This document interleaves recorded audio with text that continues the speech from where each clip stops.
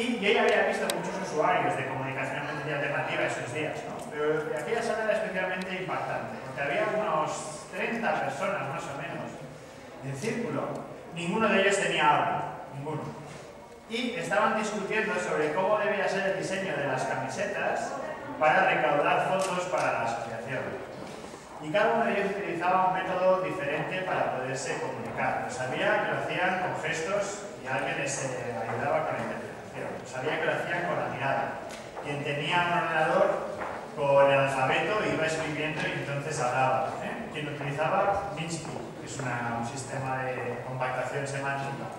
Eh, quien utilizaba símbolos SPC, que lo hacía con un pulsador. Bueno, cada uno de una forma diferente, pero la cuestión es que entre ellos estaban dialogando eh, sobre este tema. ¿no? No es muy sea, quizá no nos, parezca muy espectacular la, la anécdota o no, pero la cuestión es que Pensé, ¿cuánto tiempo tardaremos en España en poder ver algo parecido? Tener 30 personas que dan por supuesto que han de tener un sistema alternativo de comunicación que lo llevan todo el día puesto y que además les permite tener una conversación espontánea sobre un tema nuevo. Bueno, yo creo que nos queda un poco de recorrido ¿eh? en España por hacer en este sentido. Sí que es cierto que cada vez es más frecuente el uso de sistemas alternativos de comunicación, pero nos queda recorrido. Nosotros desde ese momento nos obsesionamos en como empresa, al final y al cabo es lo que somos, y es nuestra contribución a, esta sociedad, el proveer, de, intentar empujar desde nuestra posición de soluciones para que aquel sueño que vimos en Montreal pues fuera una realidad cotidiana en nuestro día a día.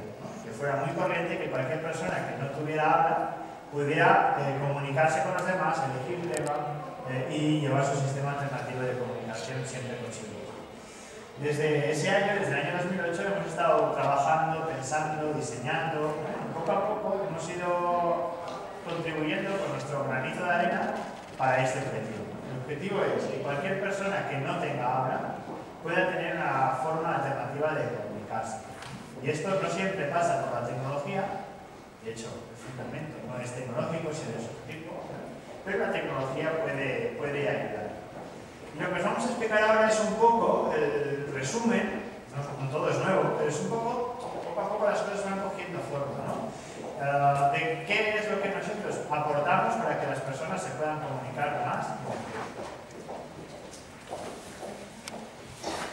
Esta mañana vimos, sí, sí, esta mañana vimos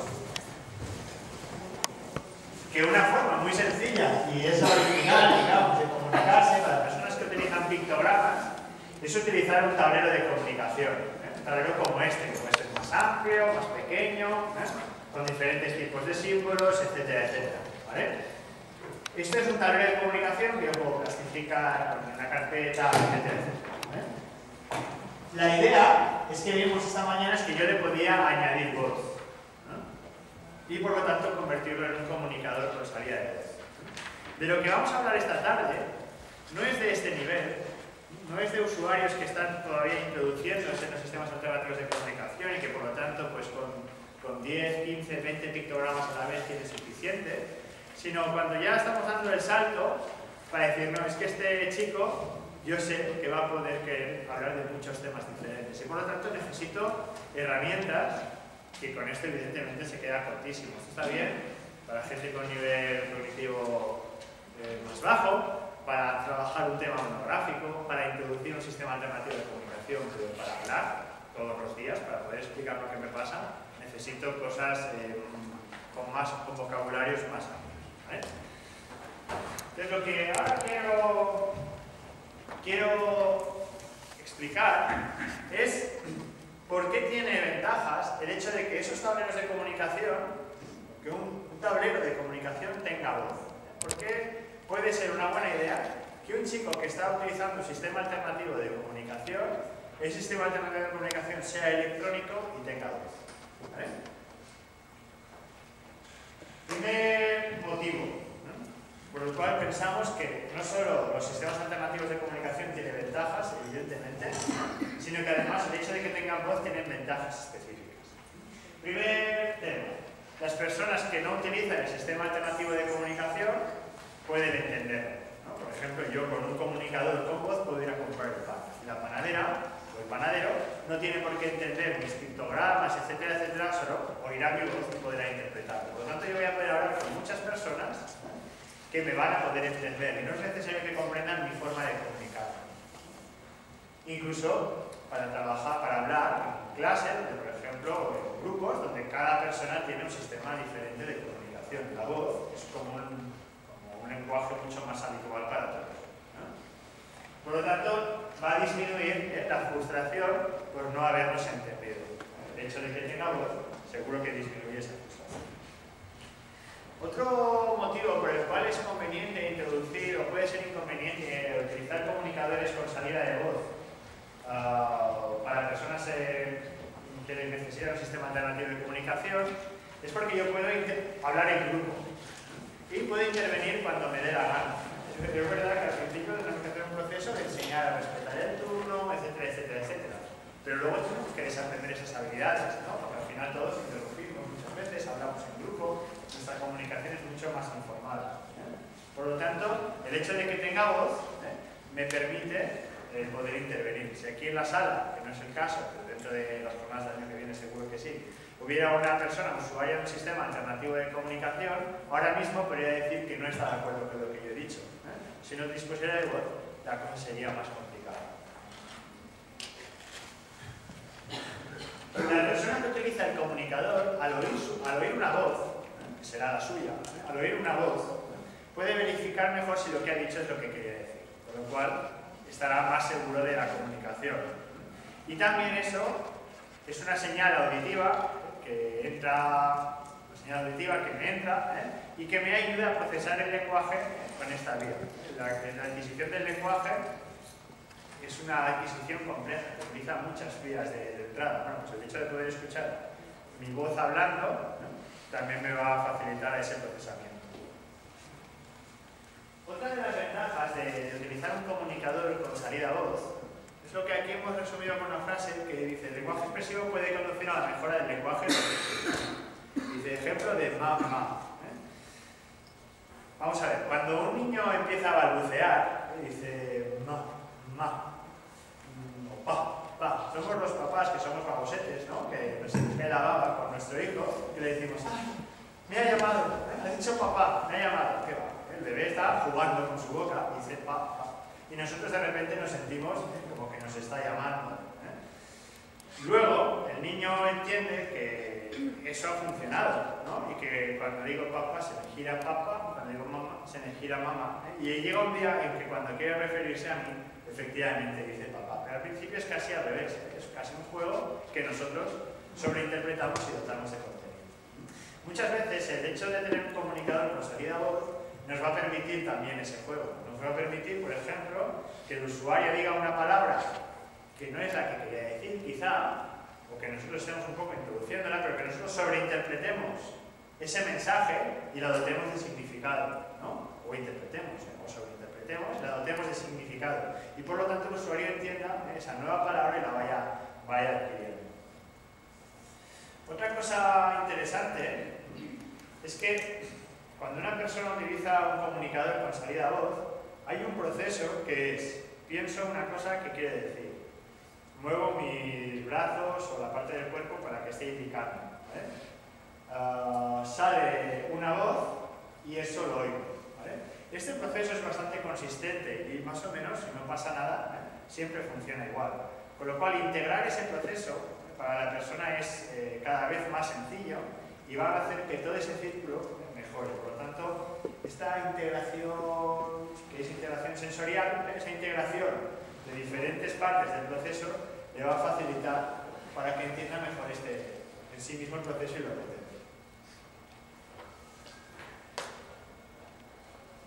Parada, silencio. Frase, importante. Yo creo que ya a estas alturas no haría falta discutir esto, pero por si acaso vamos a volver a hacer énfasis. Hay muchas personas que dicen, es que mi hijo va a hablar, ¿eh? creemos que va a hablar, y si le utilizo un sistema alternativo de comunicación, eh, no hablará, ¿eh? porque se sentirá cómodo con él y no hablará. Este es un pensamiento mm, súper razonable, digamos, ¿no? muy, común, muy, muy comprensible, pero que carece absolutamente de ninguna base científica. Ya en el año 82 se publicó un estudio que resumía 25 estudios anteriores, en el cual se demostraba que el uso de sistemas alternativos y aumentativos de comunicación no amenazaba al habla. No amenazaba. Y al contrario, potenciaba la comunicación y potenciaba el lenguaje. Por lo tanto, nadie, por utilizar un comunicador con voz o sin voz, o un tablero de comunicación o gestos, va a sentir amenazada su habla. Es más, como se desarrolla la comunicación y el lenguaje, es más probable que el habla emerja. Además, esta probabilidad aumenta un poquito más si el comunicador tiene salida de voz. ¿Por qué? Porque el usuario tiene un modelo, un modelo de lo que él tendrá que decir. Además, un modelo eh, sin pronunciación, como bastante eh, repetitivo, con lo cual eso también facilita muchas veces. Por lo tanto, el uso de un sistema alternativo de comunicación no amenaza el habla, todo lo contrario, potencia la comunicación y el lenguaje, que son muchas veces prerequisitos para, el habla. ¿eh? Y por otra parte, incluso el hecho de que el comunicador tenga voz puede llegar a potenciar ¿eh? todavía un poco más el habla. Esto, ojo, con interpretarlo al revés. No estamos diciendo que el utilizar un comunicador con salida de voz haga que la gente hable solo que no la amenaza en este sentido, no es un problema en este sentido, y que las estadísticas dicen que cuando se utilizan es más probable que el habla emerja. Cuando la persona, por ejemplo, tiene las condiciones físicas para que eso Otra ventaja de los comunicadores, en este caso de los comunicadores dinámicos, es decir, estamos hablando, o decide que estamos hablando, estamos hablando de un aparatito tipo este de aquí, luego veremos que hay mucha cacharrería, justo vamos a tardar, se supone que lo que sabemos más nosotros es de cacharrería, pero vamos a tardar bastante rato en llegar a hablar de la cacharrería, vamos a hablar antes de otras cosas. Pero es un aparatito como este, en el cual yo tengo vocabulario, ¿eh? yo puedo ir escribiendo y aquí me aparece una frase que después pronunciaré. Estamos hablando de esto el rato. Cuando yo utilizo un comunicador de este tipo, esto en el fondo es un iPad camuflado, ¿vale? Eh, pero no importa la tecnología que sea, mm, además de por el hecho de tener voz, tengo algunas otras ventajas de cara a potenciar la comunicación. Una ventaja es que, si veis ese pantallazo ¿eh? ese pantallazo, veis que dice, me gusta la... En todo el rato yo estoy viendo cómo he ido construyendo una frase, lo primero de todo, por lo tanto la frase tiene consistencia, cosa que con los gestos manuales, permanencia, cosa que con los gestos manuales o por un de comunicación es mucho más difícil. Uh, estoy viendo todo el rato el símbolo acompañado del texto y cómo ha quedado mi frase. Por lo tanto, va a facilitar el hecho de hacer frases más largas y evitar comunicaciones basadas en una sola palabra la tecnología le va a permitir rápidamente combinar eh, símbolos con alfabeto tradicional, con ortografía tradicional. Aquí veis un ejemplo en el cual probablemente me gusta la, lo he escrito con símbolos y ahora he escrito la letra P y un texto predictivo está sugiriendo el símbolo pizza y ve las valores tan grandes. Por lo tanto, al permitir todas estas combinaciones probablemente sean una buena herramienta. ¿Vale? Vamos por pasos. Primer paso, un sueño. ¿vale? Que las personas que no tienen habla dispongan de un sistema alternativo siempre presente. Que puede pasar con o sin tecnología, ¿vale? con o sin voz. ¿vale? Pero en sí mismo ya eso sería fantástico. ¿vale? Siguiente paso. Todos tenemos claro que el utilizar este tipo de estrategias no amenazan el habla, sino en todo caso quizá todo lo contrario. ¿vale? Tercer paso. Eh, el hecho de utilizar un sistema con tecnología y con salida a voz tiene ventajas específicas. Tiene ventajas específicas. También puede tener algún inconveniente, pero tiene ventajas específicas. ¿vale? Cuarto paso. Vale, pues más convencido, ¿no? Es decir, a mí me gustaría ahora ya ¿no? Eh, tener un comunicador y ya, venga, quiero que ya, que mi hijo, que mi alumno, ¿eh? ¿cuánto hay que pagar? ¿Eh? Pago, ya ¿vale? Vamos a ver 10 consejos o 10 estrategias o 10 ideas ¿eh? antes de ver esto. Vamos a, ver esto de aquí. Después al final hablaremos, ¿eh? iremos cada vez bajando más a lo concreto, pero yo creo que yo, pues poquito. Primera, primer consejo que nos gustaría poderos dar. El comunicador, un comunicador es la voz del usuario, es su voz. Esto es a enseñar, no todo el mundo eh, entiende esto a la primera.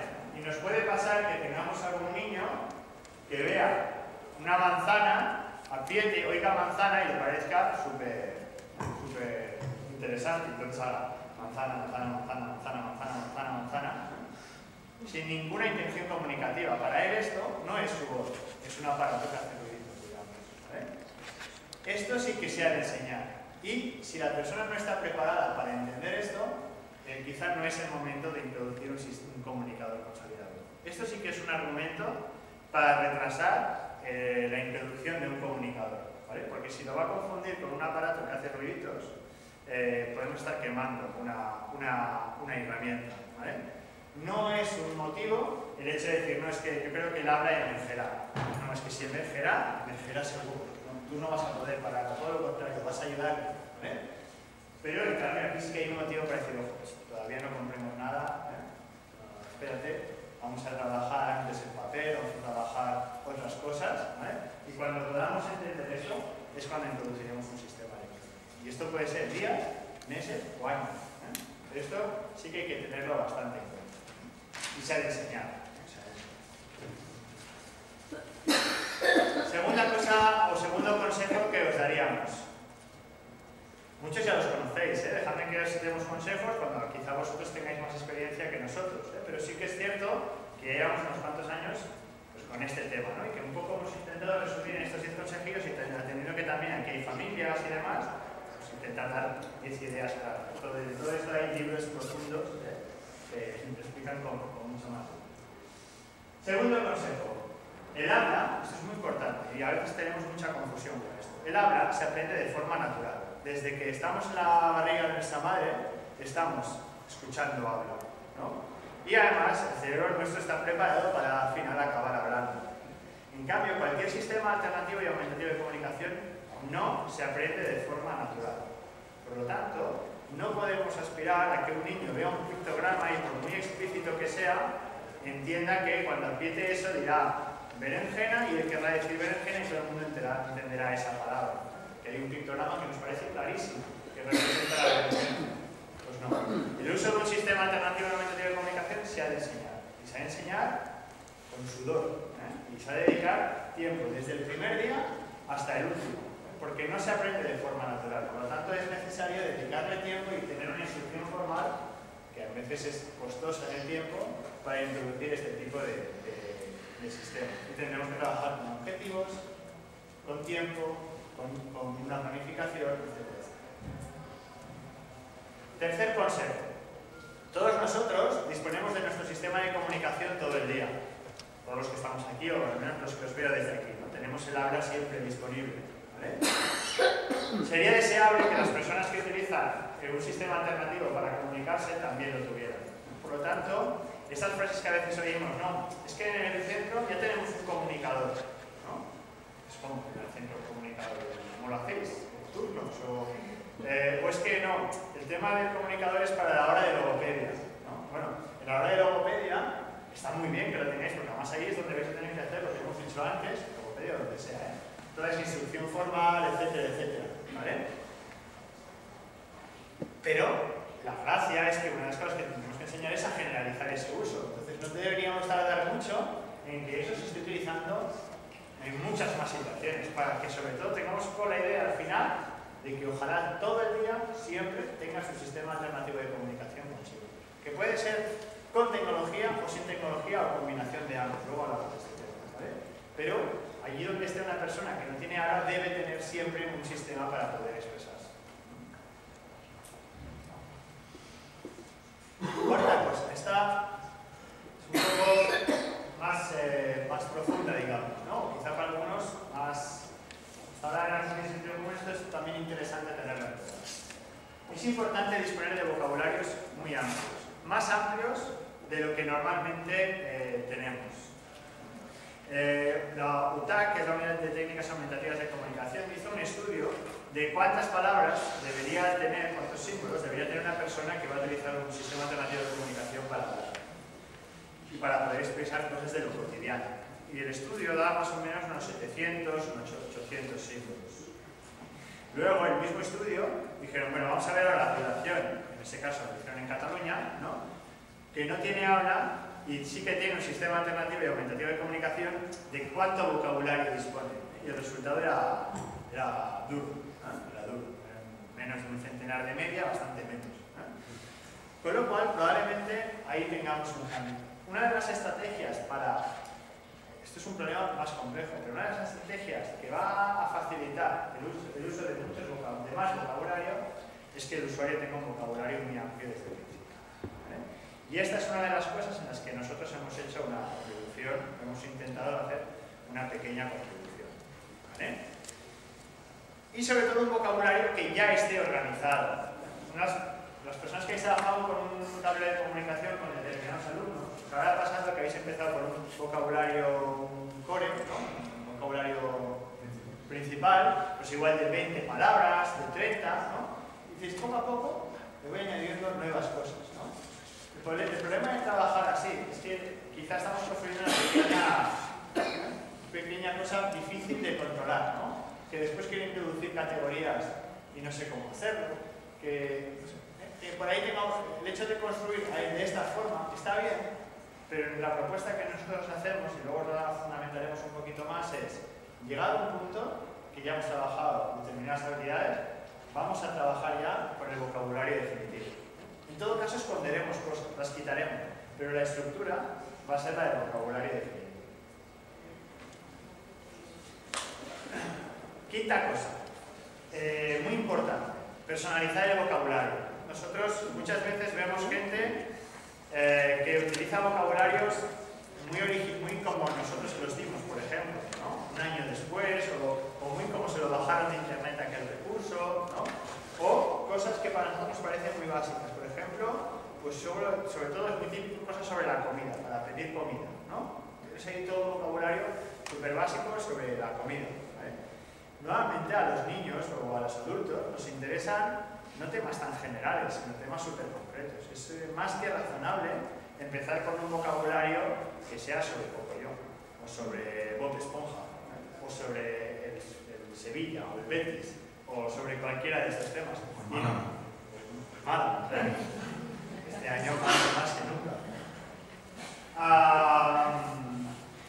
y ese es el vocabulario más importante. ¿Cuál es el vocabulario más importante para una persona que no tiene habla? Pues el que más importante sea para, para poder decir lo que le. Y si eso es fútbol, es fútbol, y no nos tenemos que preocupar porque sea un tema muy concreto o una necesidad muy concreta.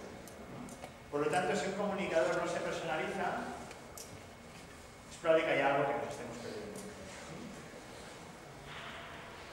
Otro consejillo. Los que habéis introducido alguna vez, o habéis hablado con alguna familia, o con algún profesional, incluso compañero vuestro, ¿no? Decir, ostras, este niño no tiene habla, estaría bien que tuviera un sistema alternativo de comunicación. Muchas veces los padres dicen, eh, no, si yo ya le entiendo todo. Es una frase que igual hayáis oído alguna vez.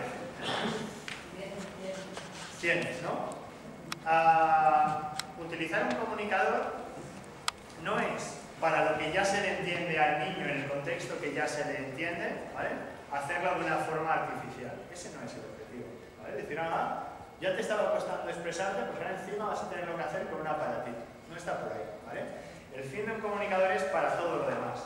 Quiere decir, para aquellas cosas que el niño no tiene estrategia, el niño o el adulto, no tiene estrategias o recursos suficientes para poder expresar, o para hablar con personas con las que no podría hablar. ¿vale?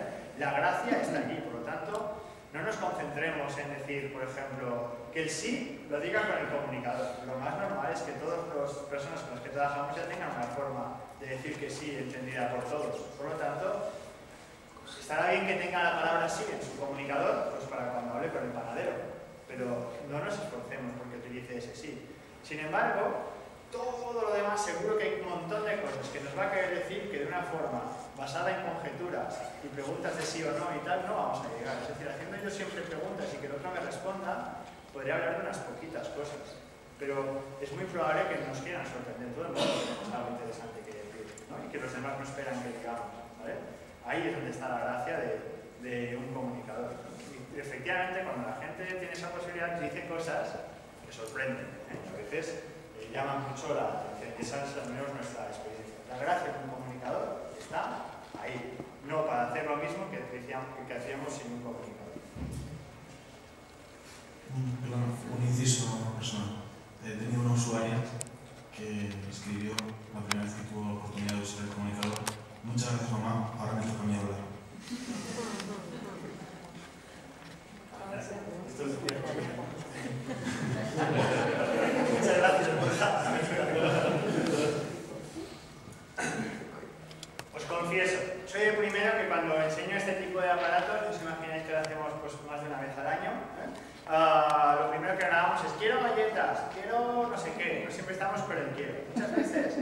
Pensamos que los comunicadores solo sirven para expresar peticiones. Expresar peticiones es una parte muy pequeña del lenguaje. ¿vale? En general, a lo largo del día no estamos expresando quiero galletas, quiero pipí, quiero...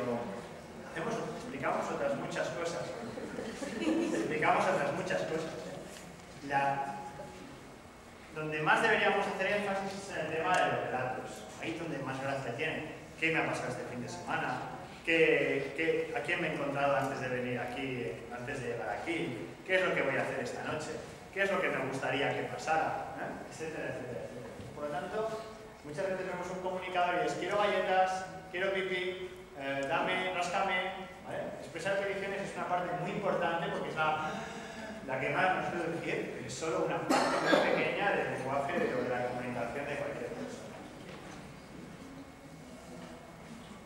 Te hablo con sencillo. Esta es como una discusión que en principio teníamos entre nosotros y, ¿no? y que le dábamos vueltas a este tema. Y luego un día lo escribimos y dijimos, esto era lo que queríamos decir, esto es lo que nosotros pensamos. A veces, cuando la persona, a ver, hay cosas que es muy evidente, una persona con buena movilidad y demás, pues le puede ir muy bien un iPad o algo así, que aprieta la tecla ¿no? y se oye. Pero muchas veces nosotros atendemos a personas, no sé, con cerebral, con ictus, ¿eh? con diferentes situaciones en las cuales el acceso es, es complejo, ¿eh? no es tan fácil.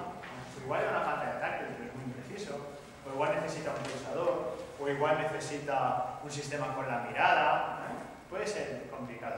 Y nosotros a veces teníamos un debate de decir, hombre, ¿qué trabajamos? ¿Primero el acceso o trabajamos primero el comunicador? ¿no? Lo que nos pasaba, ¿eh? teníamos ese debate. Lo que hemos, que pensamos que es lo correcto y es lo que ahora aplicamos nosotros es, al principio, la forma de acceder al vocabulario, vamos a buscar una que sea simple para el usuario, que cognitivamente pueda entender, ¿vale? Que veamos más sencillo, barrido, barrido, pantalla táctil, pantalla táctil, ratón, ratón, ¿vale? Una que sea sencilla para él. Esto más o menos sí que lo veníamos haciendo, o todo el mundo lo viene haciendo. Lo que nosotros también queremos hacer un toque de atención es que pasado no sé cuánto tiempo, un mes, dos meses, un año, cinco años, no lo sé, ese método probablemente se nos haya quedado antiguo. Y entonces no hay que preocuparse por el método más simple, sino por el más rápido. Y este proceso también es muy importante, porque no es lo mismo decir una palabra por minuto que decir dos palabras por minuto, que decir 2,4 palabras por minuto, que decir 10 palabras por minuto. Y con los recursos tecnológicos adecuados, podemos hacer que una persona con parálisis cerebral pase de decir una palabra por minuto a tranquilamente decir 10, 15, etcétera, etcétera. Casi con lo mismo, pero con la calma de decir, vale, ahora ya ha entendido el comunicador, tiene el vocabulario, ya estamos igual. Pero ahora ese barrido que le he puesto con un solo pulsador, que se va encendiendo una casilla, luego otra, luego otra, es un castigo para él. Probablemente yo pueda organizar con dos pulsadores un método de elección directa, con la mirada, puedo combinar un ratón de cabeza con un pulsador, etcétera, etcétera. Ese es un trabajo que nosotros tenemos bastante profundizado y que se nos da más o menos bien. Es decir, vale, ahora ya tenemos esto funcionando, vamos a hacer que esto vaya lo más rápido posible. Donde nos queremos poner el énfasis es que eso es importante porque a veces, si no, es tan aburrido utilizar el sistema de comunicación que al final no merece la pena Noveno consejo, eh, los comunicadores estos, ¿no? los iPads, los, los iPods, los iPhones y todas estas cosas, y los tablets PC y los contenedores de la mirada, están muy bien, pero nuestro consejo es que allí donde hay un usuario que utilice un sistema de este tipo, a la vez tenga, tenga lo mismo en papel. ¿eh? O algo aunque sea más simple, pero que combine un formato electrónico con salida de voz con un formato en papel. Porque así podrá eh, hablar cuando esté en la ducha, cuando se le acaben las pilas, cuando esté en el cine y no pueda tener salida de voz, cuando, por lo que sea, ¿no? esté en la casa de campo o lo que sea, ¿eh? eh es que nos va a ir muy bien a todos, ¿no? o incluso para la familia, igual las relaciones más fluidas sin salida de voz, en un momento dado no es necesario. Por tanto, nuestro consejo es combinar las, las dos plataformas.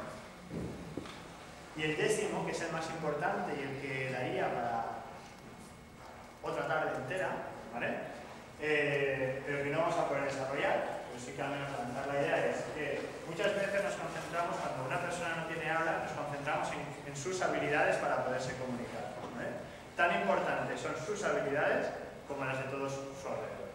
Por lo tanto, muchas veces hacemos muchas horas de trabajo con él, habría que pensar si esas horas también habría que hacer trabajo con nuestros compañeros de centro, empezar, con su familia, con eh, su barrio, ¿vale? porque las habilidades para comunicarse con una persona que no tiene habla también son importantes y no se aprenden de forma natural. Por ejemplo, esperar, tener paciencia, es algo que se ha de explicar. Es decir, con esta persona cuando te comuniques, deja un poco de reloj, ¿vale? Deja de darle tiempo porque tarda más que tú en poder eso, que es de sentido común y cuando te lo dices, dices, ah, claro, si nadie te lo ha dicho, pues los nervios, haces muchas conjeturas, no, te esperas, te vas, eh, te está medio comunicando y, le miras a otro, cambias de tema. Ese tipo de habilidades son buenos enseñar tanto para nosotros mismos como para el entorno más próximo. En este sentido, si este tema os interesa, que yo creo que es un tema súper interesante, eh, hay un recurso que os podéis descargar desde nuestra página web.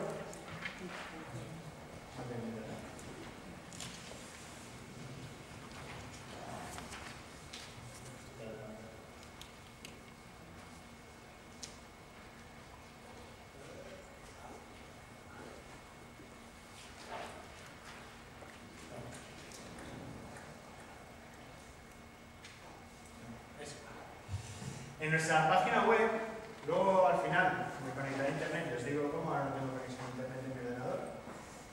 Os podéis descargar un usuario del programa de Grid, es un archivo, eh, al fin y al cabo, de este programa que se llama de Grid. Es un usuario que se llama Información. Y está bastante interesante.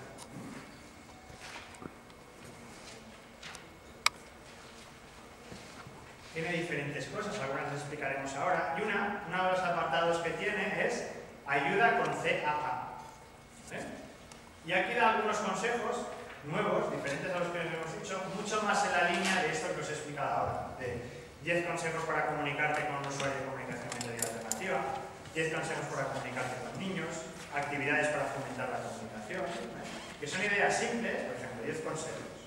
Os digo que no nos da tiempo para verlo, ¿eh? pero por ejemplo, reduce el ruido ambiental, mira a la persona con la que hablas, no a su aparato a su acompañante. Consejos básicos de este tipo.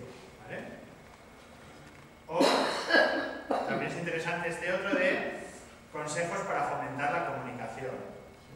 Pues, por ejemplo, hay ideas de cómo enseñar nuevo vocabulario o cómo potenciar la comunicación. ¿eh?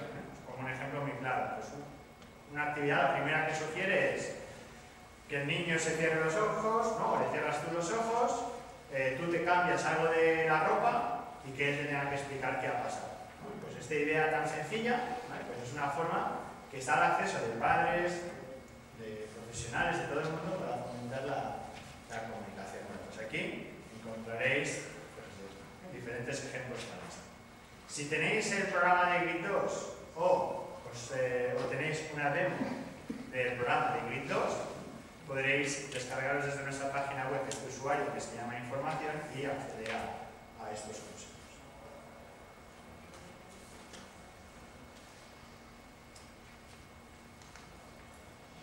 Muy bien.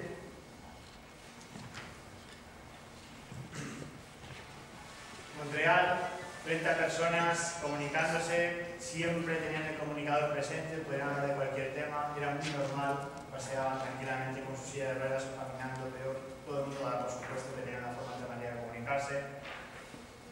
Ojalá en España el comunicador no se haya dado tiene ventaja, algunos consejos para utilizar un comunicador. ¿eh?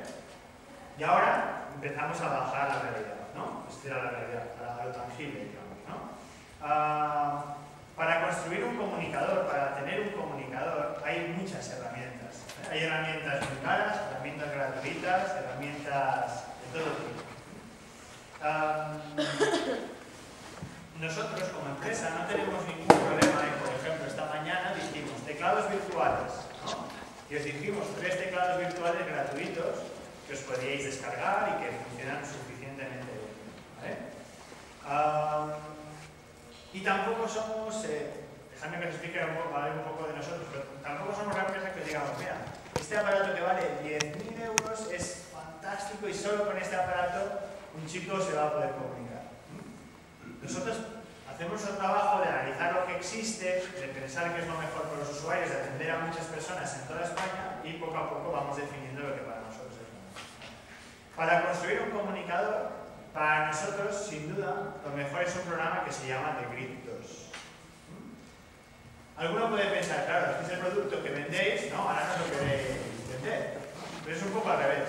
Nosotros teníamos personas a las que queríamos eh, dar servicio mediante la tecnología. Buscamos en todo el mundo y lo mejor que encontramos es este programa. Entonces lo trajimos a España. ¿vale? Por lo tanto, a partir de ahora, casi todo lo que vamos a explicar va a estar dando vueltas alrededor de este programa. Pero es nuestra apuesta clara. Después de haber visto muchísimas cosas y de ser muy abiertos de mente, nuestra apuesta clara es mediante el uso de. ¿Vale? Sin ser el único, pero para nosotros sí que es el, mejor. Y reconociendo que hay otros programas gratuitos y demás que tienen su, hacen su contribución. ¿Por qué? Dejadnos que lo expliquemos un momento, nos lo tangibilicemos nuestra apuesta, digamos. Primera cosa, es el, probablemente, es difícil de saber, pero probablemente es el software para esto a nivel de líder a nivel mundial. Ahora mismo ya se ha traducido en 15 idiomas, incluyendo, por ejemplo, idiomas que se escriben al revés, ¿eh? etcétera, etcétera, etcétera. 15 idiomas quiere decir muchísimos países. Hay muchas personas de todo el mundo que estamos utilizando la misma. Esto hace que constantemente se esté actualizando. El programa utiliza muchas colecciones de símbolos. Por defecto viene con los símbolos de Witching y los símbolos symbol sticks, son los símbolos más interesantes. Probablemente los símbolos que más de moda están, digamos, en todo el mundo. ¿vale? Y mediante descargando desde nuestra página web también, o desde la página web de la SAC, también funcionan con los eh, símbolos de la SAC.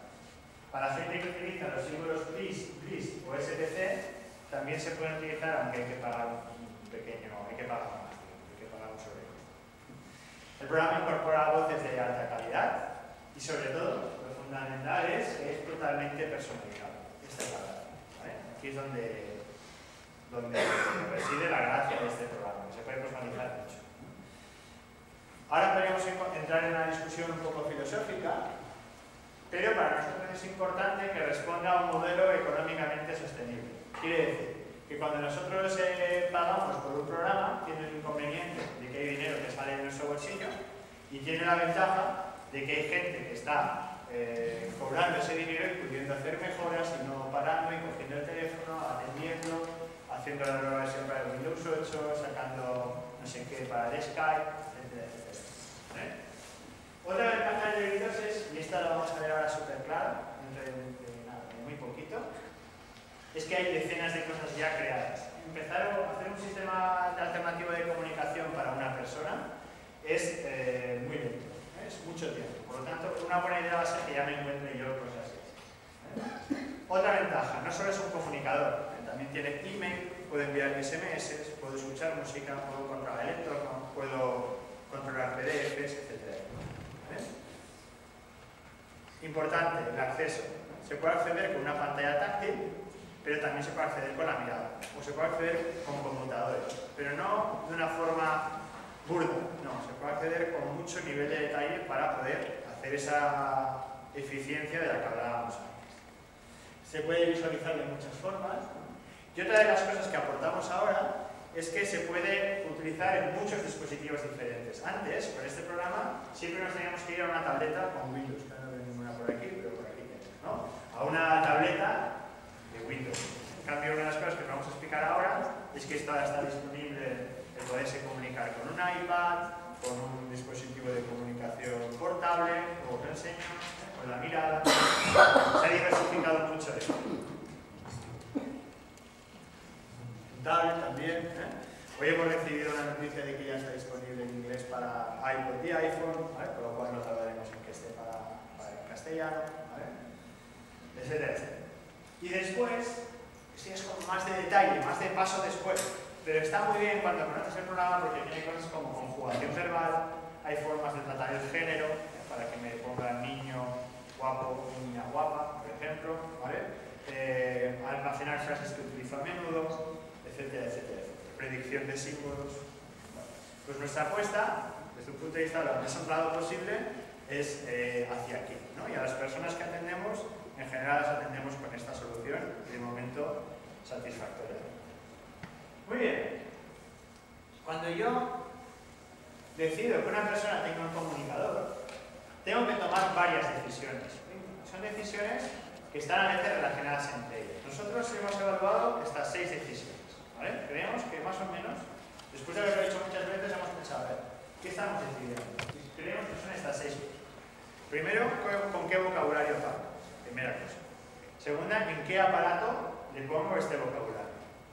Tercera cosa, ¿qué accesorios le añado a este aparato para que sea funcional para él? Y aquí hay eh, mucha amiga. A veces es más importante los accesorios que el aparato.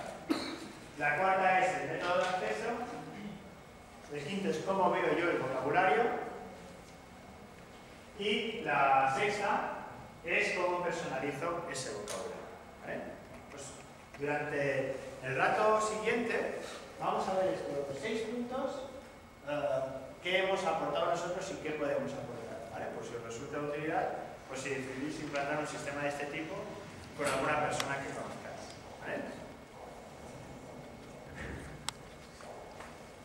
¿Qué tal? ¿Está siendo muy duro? Tengo una sensación de hacerme muy pesado, ya me ido a mí seis veces diciendo Entonces no sé si para vosotros como si ya me habéis ido seis veces o si fuera más o menos la primera vez. ¿Vamos bien? ¿Se sigue de momento? Sí, sí que me estoy haciendo aburrido a mí mismo. Sueños con esto. Sí. No, y a mí me encanta, y no sé si a los les parece un poquito. Uh, muy bien, vocabulario base.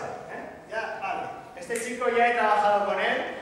Creo que ya hemos superado esta primera fase de que entienda la gracia de comunicarse, de introducir los primeros pixels, etcétera, etcétera. Pero yo, yo quiero que esto, ¿eh? quiero que un día me pueda explicar qué ha hecho ayer, a qué partido político le gustaría votar o eh, qué opina sobre su sexualidad, por ejemplo. ¿no? Por lo tanto, como tengo esa aspiración, a futuro voy a tener que trabajar muchas cosas. ¿Vale? Pedir un aumento. Pedir un aumento, cualquier cosa de Para eso hay que necesitar un buen vocabulario. Para crear un vocabulario, decía antes que hay dos caminos.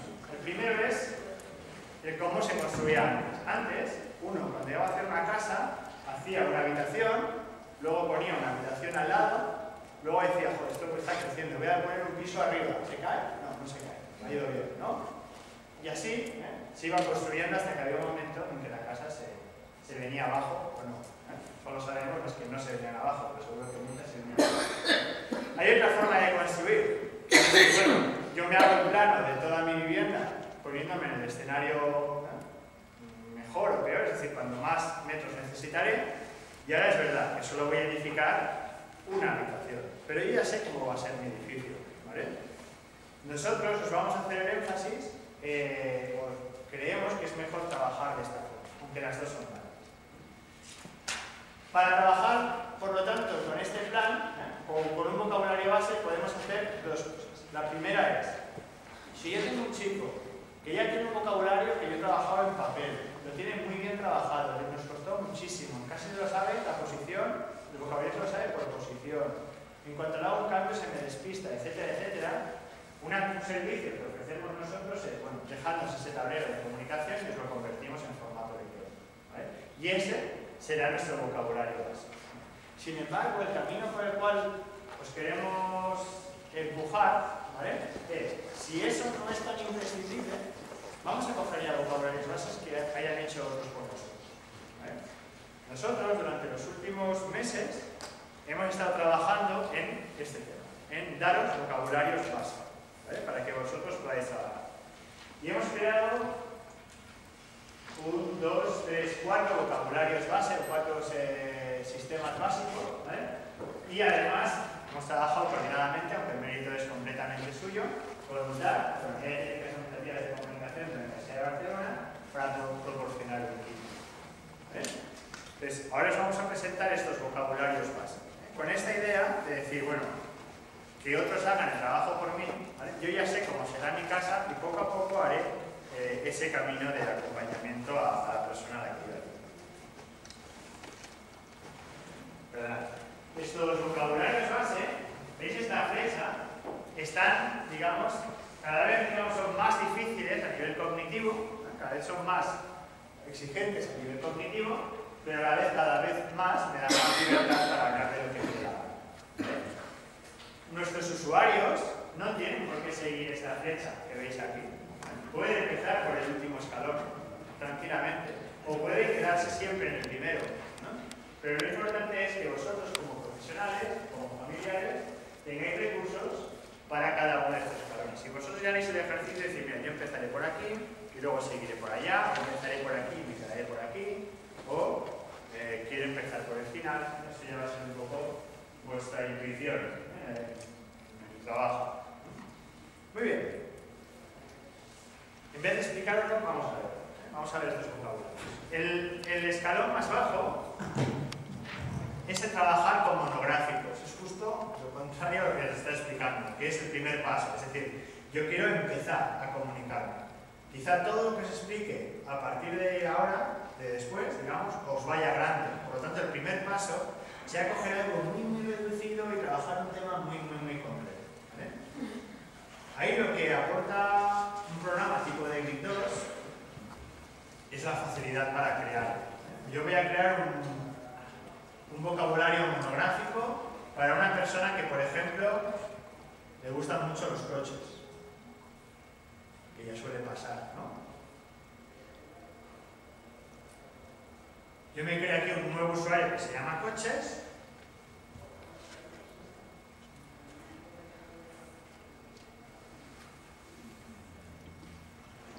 Y en principio está en blanco. ¿eh? Justo es lo contrario, es lo que vamos a intentar evitar a partir de ahora. Pero para el principio lo que nos va a ir más que buscar en internet y demás es justo hacerlo.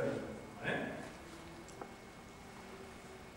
Yo hago clic en una celda y escribo, por ejemplo, pues la palabra coche, escribo rueda, puedo buscar las ruedas,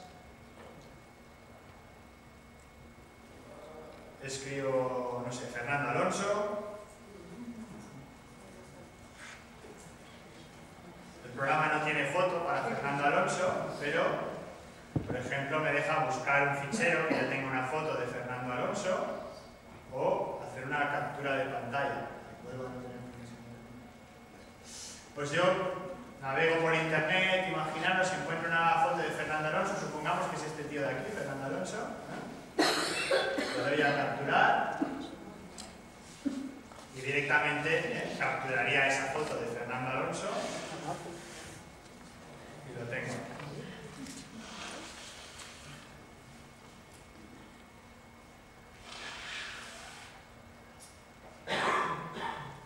Rueda. Fernando Alonso. De esta forma, ha de ser fácil construir un monográfico sobre un tema muy concreto. El cómo el usuario accede a este vocabulario no lo vamos a ver ahora. ¿eh? Puede ser por barrido, puede ser por, mirada, puede ser con pantalla táctil, puede ser con un iPad, puede ser con un iPhone, puede ser con un iPhone, ¿eh? etcétera. Lo importante es tener esa capacidad para, ahora sí, empezar de cero de forma personalizada. Primer escalón, monográficos o básicos. Muchas personas que atendemos se nos quedan aquí y debemos aspirar a más. Sin duda debemos aspirar a más si podemos, si, es posible. Siguiente paso del cual podríais partir. Ahora sí ya recomendamos que, que, a menos de que lo veáis muy claro, no inventar la rueda, sino aprovechar que otros han sudado en vuestro nombre. Digo, es el siguiente escalón. Dentro de aquella fecha que vimos es el siguiente escalón. Vosotros podéis decir, mira, es que mi chico, o mi hijo, o mi padre, o mi hermano, o mi paciente, o mi alumno, ¿eh? ya tiene más nivel. Yo creo que puede trabajar con pictogramas, pero lo que de momento es un nivel un poco básico. ¿eh? Yo le voy a crear pequeñas categorías, por ejemplo, los cuerpos, ¿no? Me duele mi brazo. Me duele mi brazo. Y decir, mira, poco a poco yo le voy introduciendo este vocabulario. Son nueve categorías, en principio categorías simples. Me quiero poner mi jersey. Me quiero poner mi jersey azul. Que yo las tengo organizadas así, sencillamente. Hay algunas que sí que son más complejas. Eh, Borja, el, eh, que fondo, yo suelo no, vamos, no pongo fondo porque me parece más difícil el contraste de El color. Exacto. Podrías trabajar solo con el borde. Claro. Solo con el borde y además se puede cambiar el borde mm, independientemente, por ejemplo, de que yo esté trabajando en juguete o cosas de ocio o y luego comida, puedo poner un marco de color diferente. Bueno, sabéis que hay, eh, hay como una cierta estandarización, ¿no? Hacer, eh, esto siempre se me olvida, ah, los verdes son, ¿cómo es esto? Los amarillos Claro, son personas, los verdes son acciones, etc. No este, es que eso ni es No, no, está claro. Mira, una de las cosas buenas que tiene el programa este es, fíjate, justo me parece que esto era, os voy a enseñar alguna cosilla que está como en inglés, porque esto fue un usuario que partimos de inglés y que nosotros traducimos. Ah, no, pues está bien. Em, lo que es el aspecto del botón, ¿vale? no, lo define, no lo define directamente por cada botón, sino lo único que dice es este botón de qué estilo es. ¿vale? Y los ha llamado un botón que es estilo celda de salto. Este botón, ¿por qué se llama así? Porque esta celda, aquí lo que hace es que los azules sirven para ir a otras, digamos. ¿vale? Lo ha organizado, es un criterio. ¿vale? Discutible o no, pero ha utilizado este criterio. Lo que hace el programa es decirle, no, esta celda es del estilo celda de. ¿vale? Yo lo que podría hacer es editar el estilo o cambiarle el estilo a la celda. Vamos a editar el estilo, quiere decir, perteneciendo a esta celda, en vez de hacerlo un botón 3D, pues vamos a hacer un rectángulo redondeado, sin degradado con el color de la celda blanco y el color del borde verde. Aceptar, aceptar, aceptar. La gracia es que todas las celdas que yo había definido que eran de este estilo se me cambian de golpe. Con lo cual, para un determinado alumno, o para, pues, para tu criterio profesional, por la población que tú atiendes, dices, no, yo lo primero que haré es cargarme todos estos estilos y les pondré un estilo diferente. Y automáticamente, fíjate que todas las que son de salto se me han cambiado. Ahora, si quieres, estas las llama, vamos a ver estas de aquí, las marrones. Yo podría cambiar una sola o decir que pertenece al otro grupo, pero las celdas que él llama celdas de vocabulario, pues las podría hacer, no tiene ningún sentido, ¿eh? pero por lo que sea, pues me apetece hacerlas así. Un bocadillo, azul, así, es muy feo, ¿no? Pero es eh, algo, ¿eh? Y yo, por ejemplo, en la imagen, ahora quiero ir haciendo más pequeñito y en cambio, porque ya estoy metiendo lectoescritura, el texto más grande. Aceptar, aceptar. Ya lo tengo. Pantalones. Todas las de vocabulario, se, las de vocabulario se me han cambiado eso ya va a depender de tu criterio y decir, no, yo es que esto de verde, amarillo y tal, mm, me va un montón y lo otro que quiero utilizar. Eso ya es discutible. Por ejemplo, en el vocabulario CACE, eh, lo que decidieron es que cada categoría tuviera un color diferente. En vez de mezclar verbos y tal, esto les daba igual, pero cada categoría, cada categoría semántica tiene un color diferente. Para que así, cuando ven el pantallazo, entiendan mejor qué categoría está, porque categorizar para ellos es una función muy importante. Claro, por ejemplo, si tú trabajas con autistas y esto lo utilizas de ejemplo, para que cada casilla tenga un Pues, entonces. no hay ningún problema. Está claro. Los estilos es lo complicado, pero después yo siempre que quiera puedo coger esta cabeza y decirle, especificar el estilo de esta celda individualmente. Y esta celda en concreto la hago tipo carpeta con el color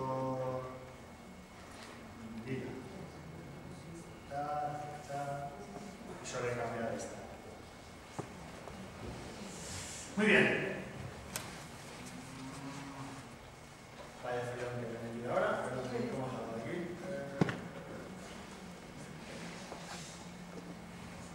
Luego esto es lo típico que lo hago en otra presentación y digo, ostras, me dejé así, pero bueno. Ah, os decía, os quería, os quería explicar sobre todo el vocabulario.